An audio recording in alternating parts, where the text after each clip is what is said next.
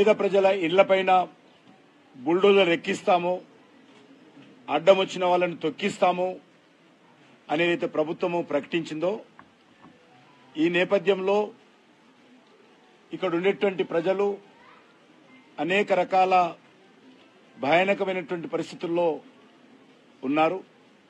ఎప్పుడు బుల్డోజర్ వస్తుందో ముఖ్యమంత్రి గారు స్వయంగా చెప్పారు కాబట్టి ఎప్పుడు బుల్డోజర్ వస్తుందో ఎప్పుడు మా ఇల్లు కూలుస్తారో అనేటువంటి భయంతో ఇక్కడ ప్రజలు ప్రాణాలు అరచేతిలో పెట్టుకొని బతుకుతున్నారు. ఇక్కడ కుటుంబం దగ్గరికి వెళ్ళి మీరు అడిగినా కూడా వాళ్ళ యొక్క బాధలు వాళ్ళ యొక్క దీన గాథలు వర్ణాతీతం మేము ఏ ఇంట్లో అయితే ఉన్నానో శంకరమ్మ గారి ఇంట్లో వాళ్ళ భర్త రిక్షా కొట్టేవాడు.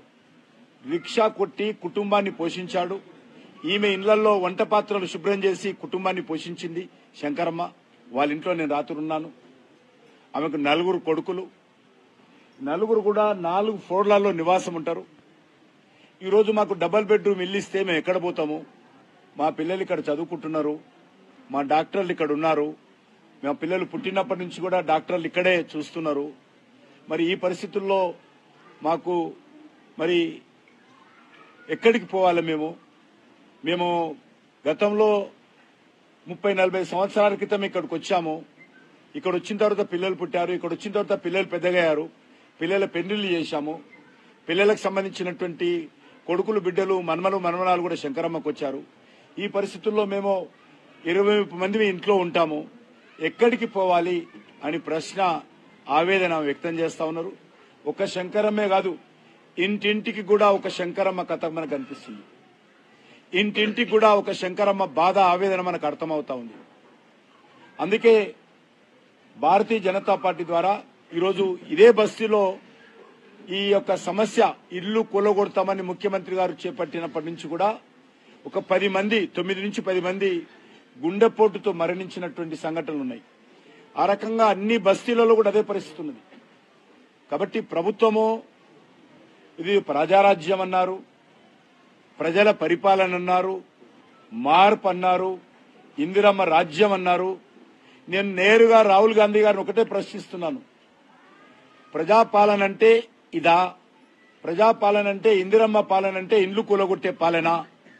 ఇందిరమ్మ రాజ్యంలో ఇండ్లు కూలగొడతారా? లేక మీరు పదకొండు నెలలు పూర్తిగా వస్తుంది కదా?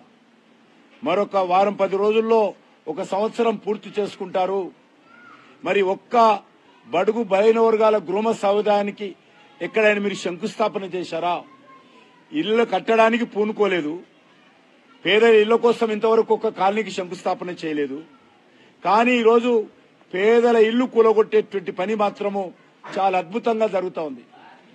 గతంలో మనం చూశాము అనేక మంది మంత్రులు గాని ప్రధానమంత్రులు గాని అంతెందుకు రాజులు కూడా ఎవరైనా పేదలకు మేలు చేసి నిర్మాణాలు పూర్తి చేసి వాళ్ళకు కూడు గూడు కల్పించి మంచి పేరు తెచ్చుకోవాలనుకుంటారు. కానీ ఇప్పుడు ఉన్నటువంటి ముఖ్యమంత్రి ఇల్లు కూలగొట్టి మంచి పేరు తెచ్చుకోవాలనుకుంటున్నారు. ఇంకొక మాట అంటున్నారు ముఖ్యమంత్రి గారు కాంగ్రెస్ పార్టీ నాయకులు. మీరు మూసికి వ్యతిరేకమా? మూసి ప్రక్షాళన చేయొద్దా? మూసి పునర్జీవం చేయొద్దా? నేను ప్రాక్టికల్గా ముఖ్యమంత్రి గారికి మనవి చేస్తా ఉన్నాను. మీరు అనుకున్నటువంటి ప్రాజెక్టు పూర్తి చేయాలంటే వేలాది మంది పేదల ఇల్లు నేలమట్టం చేయాలి. వేలాది మంది పేదల నిరాశ్రలు చేయాలి. పేదల గూడు కూల్చేయాలి. పేదలకు నిల్వ నీడ లేకుండా చేయాల్సిన పరిస్థితి వస్తుంది. మీరు అనుకున్నటువంటి ప్రాజెక్టు. రెండోది మీకు లక్ష యాభై వేల కోట్లు కావాలట్టుకున్నారు రిజర్వ్ బ్యాంక్ ఇస్తుందా? అమెరికా నుంచి ఇస్తుందా? లండన్ నుంచి తెస్తారా?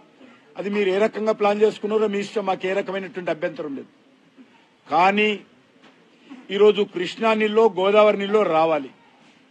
కాబట్టి ఇవన్నీ కూడా ఇందు ఉలగొట్టడము అప్పు తీసుకురావడము డిపిఆర్ తయారు చేయడము ప్రాజెక్టు కట్టడము కృష్ణా నీళ్ళు దేవడము గోదావరి నీళ్ళు దేవడము అంతేకాకుండా ప్రధానమైనటువంటి అంశము ఈరోజు ఒక కోటి మంది ఉపయోగిస్తున్నటువంటి డ్రైనేజీ ఈ మూసిలో మీరు పంపిస్తున్నారు. దానికి ప్రత్యామ్నాయ ఏర్పాట్లు చేయకుండా మూసిలో డ్రైనేజీ నీళ్ళు రాకుండా చేయాలంటే ఎన్ని వేల కోట్ల రూపాయలు ఈరోజు హైదరాబాద్లో ఖర్చు పెట్టాను హైటెక్ సిటీలో తీసుకున్నా జూబ్లీ హిల్స్లో తీసుకున్నా బోడబండలో తీసుకున్నా మషూరాబాద్లో తీసుకున్నా సనత్నార్లో తీసుకున్నా సికింద్రాబాద్లో తీసుకున్నా ఎక్కడ చూసినా కూడా డ్రైనేజ్ ఓవర్ఫ్లో అవుతుంది. తాగునీటిలో డ్రైనేజ్ కలుస్తా ఉంది. అన్ని కూడా ఇక్కడికే చేరుతాయి. మూసికే వస్తాయి. దానికి ప్రత్యామ్నాయ ఏర్పాట్లు లేకుండా డ్రైనేజీ నీళ్ళు మూసీలో రావడానికి అవకాశం లేకుండా దానికి ప్రత్యామ్నాయ ఏర్పాట్లు చేయకుండా మీసీ బ్యూటిఫికేషన్ గాని మీసీ జన రీజనరేషన్ గాని రాదు. అంతేకాదు ఈరోజు అనేక రకాల ఇండస్ట్రీస్ పట్టంచేరు నుంచి మొదలు పెడితే కుత్బుల్లాపూర్ నుంచి మొదలు పెడితే అన్ని రకాల పాలుష్య పారిశ్రామిక కాలుష్యం ఇక్కడ వచ్చి కలుస్తుంది. దానికి ఏం చేయబోతున్నారు? ముందు ముఖ్యమంత్రి గారు చేయాల్సిన పని కాలుష్యం రాకుండా ఆపాలి. ముఖ్యమంత్రి గారు చేయాల్సిన పని డ్రైనేజ్ నీళ్ళు హైదరాబాద్లో అపార్ట్మెంట్లలో లేకపోతే బస్తీలలో కమర్షియల్ కాంప్లెక్స్లలో ముఖ్యమంత్రి గారు సెక్రటరియట్లో వాడేటువంటి నీళ్ళు గాని ముఖ్యమంత్రి గారు ఇంట్లో వదులుతున్నటువంటి నీళ్ళు గాని మంత్రుల కాలనీల్లో వదులుతున్నటువంటి నీరు గాని డ్రైనేజ్ అంతా గాని ఇక్కడ కలుస్తుంది. మొత్తం మల్టీనేషనల్ కంపెనీలు ఏవైతున్నాయో ఆ కంపెనీలు వదులుతున్నటువంటి డ్రైనేజీ నీళ్ళన్ని కూడా ఇక్కడనే కలుస్తున్నది. మా ఇంటి నుంచి కూడా డ్రైనేజ్ ఇక్కడికే కలుస్తున్నది. కాబట్టి దాని సంగతి ఏంది? ఆ సంగతి తేల్చకుండా మూసి బాగుపడదు. కాబట్టి దానికి మీరు కార్యాచరణ ప్రణాళిక రూపొందించండి. ముందు చేయాల్సిన పనిది. ముందు ఇల్లు కూలగొట్టడం కాదు. ముందు చేయాల్సిన పని మూసిలో కలుస్తున్నటువంటి కాలుష్య పదార్థాలు కాలుష్యమైనటువంటి నీరు డ్రైనేజీ నీళ్ళు ఇండస్ట్రియల్ పొల్యూటెడ్ వాటరు రాకుండా ఆపాల్సిందిగా నా ముఖ్యమంత్రి గారికి మొదటి సూచన.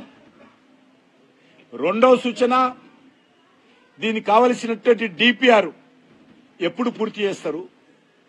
ఎట్లా కట్టబోతున్నారు? ఇది రియల్ ఎస్టేట్ వ్యాపారమా? ఈ ఇళ్ళన్నీ కులగొట్టి ఈ ఇళ్ళన్నీ కులగొట్టి వీళ్ళందరికీ నోటీసులు వచ్చినాయి.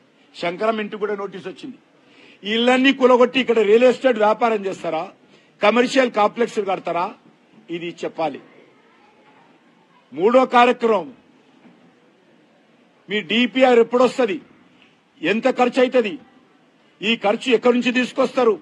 అప్పు ఎవరిస్తారు? ఇది ప్రజల హక్కు చెప్పాల్సినటువంటి బాధ్యత ఈ ప్రభుత్వం పైన ఉన్నది. అది చెప్పకుండా డ్రైనేజ్ నీళ్ళు ఆపకుండా ఇండస్ట్రియల్ పొల్యూటెడ్ వాటర్ రాకుండా చర్యలు తీసుకోకుండా పేదల ఇల్లు కూలగొడతామని మొదటి నుంచి మాట్లాడుతున్నాడు అది కాదు చేయాల్సింది. అంతేకాదు ఇక్కడికి ఈ నది నుంచి మీరు కృష్ణానది చేయబోతున్నారా ఈ నది నుంచి మీరు గోదావరి నల్లి నీళ్ళు తీసుకుపోతున్నారా? చెప్పాల్సినటువంటి బాధ్యత ఉన్నది. ఏ నీళ్ళు తేబోతున్నారు? మీరు నల్గొండ జిల్లా రైతులకు తాగునీరు సాగునీరు అందించాలి. నేనేదో ఇరవై ఏళ్ళ తర్వాత అందిస్తా ముప్పై ఏళ్ళ తర్వాత అందిస్తా ఐదేళ్ళ తర్వాత దిగిపోతా మళ్ళీ ఒక పదేళ్ళ తర్వాత వస్తా లేకపోతే మా పార్టీ ఇంకో ఆయన వస్తాడు అప్పుడు అందిస్తామంటే కాదు. ఈ ఐదు సంవత్సరాల లోపలనే నల్గొండకు తారు నీరు తాగునీరు సాగునీరు అందించాల్సిందిగా నేను డిమాండ్ చేస్తా ఉన్నాను. అందించాలంటే ఉన్నటువంటి వనరుల మేరకు ఉన్నటువంటి అవకాశాల మేరకు వేగవంతంగా ప్రాజెక్టు పూర్తి చేసి నల్గొండ ప్రజలను ఆదుకోవాలి. ఇక్కడ ఉండేటువంటి పేద ప్రజల ఇల్లు కూల్చకుండా చూడాలి. ఈ రెండు దృష్టిలో పెట్టుకొని చేయకపోతే ఈ ప్రాజెక్టు పూర్తి కాదు. ఎందుకంటే ఒక సంవత్సరం పూర్తి అయిపోయింది. రేవంత్ రెడ్డి గారి సమయము ఐదేళ్ళు ఇస్తే ఒక సంవత్సరం పూర్తి అయిపోయింది. డిపిఆర్ రావడానికి రెండేళ్ళు పడుతుంది. ఆయన ఇచ్చినటువంటి జీవో ప్రకారం మూడేళ్ళు పోతుంది. ఆయన మిగిలింది రెండేండ్లు. ఆ రెండేళ్ళలో ఒక సంవత్సరం ముందే ఎలక్షన్స్ వస్తాయి. ఎందుకంటే ఎలక్షన్ వాతావరణం ప్రారంభమవుతుంది. సంవత్సరం ముందు నుంచే ఎలక్షన్ సంబంధించినటువంటి మూడు వచ్చేస్తుంది. ప్రజలందరూ కూడా దాంట్లో ఉంటారు. ఆ మధ్యలో మిగిలింది ఒక సంవత్సరం. ఈ సంవత్సరం లోపల కృష్ణా నీళ్ళు ఎట్లొస్తాయి ఇడికి? ఈ యొక్క మూసి ఇంటి పక్కకు. గోదావరి నీళ్ళు ఇక్కడ నుంచి గలగల ఎరకంగా పాదాడుతుంది ఇది ముఖ్యమంత్రి గారు చెప్పాలి. చెప్తున్నాడు. అద్భుతంగా గోదావరి నీళ్ళు ఇక్కడ నుంచి తీసుకొస్తాం. ఇక్కడ దోమలు ఉన్నాయని ఇక్కడ దుర్గంధం ఉందని ఇక్కడ అణు విస్ఫోటం ఉందని ముఖ్యమంత్రి గారు చెప్పారు. నేను పత్రికా విలేకరిని అడుగుతా ఉన్నాను. మీరు మొదటిసారి ఇంటి కాడికి వచ్చి ఉంటారు. మొదటిసారి మీరు గల్లి కాడికి వచ్చి ఉంటారు. ఎక్కడైనా దుర్గంధం వస్తుందా? ఎవరైనా మీరు ఒట్టేసి చెప్పాల్సిందే కొడతాను నేను ఒట్టేసి చెప్తున్నాను. రాత్రి నుంచి ఉన్నాను. ఒక్క దుర్గంధపు వాసన కూడా మాకు రాలేదు.